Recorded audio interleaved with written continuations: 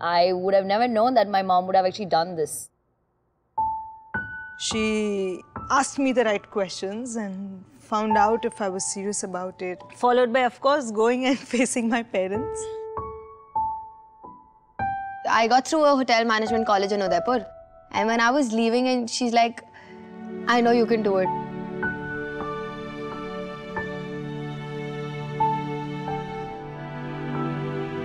I got a job as a naturalist in Kanha National Park.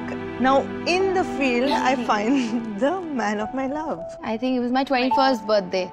So I was in Udaipur. So I was pretty sad that what will I do? There's no one with me. I was working in the Philippines and I got transferred here. I could not come here alone.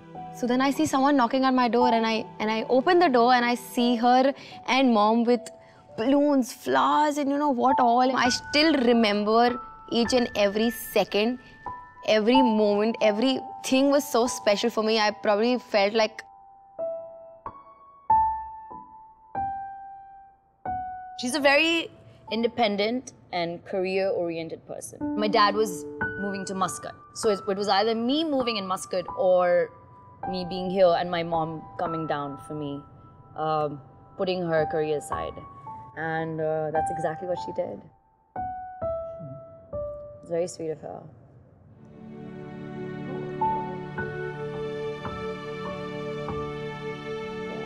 I come back home and say, this is the guy who I want to be with.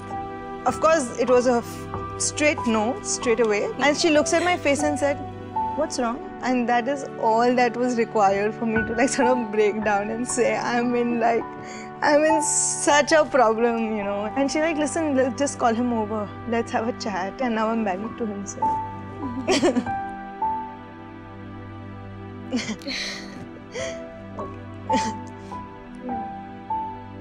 I mean, if you're asking me uh, of who brings out the inner radiance in me, it's definitely her.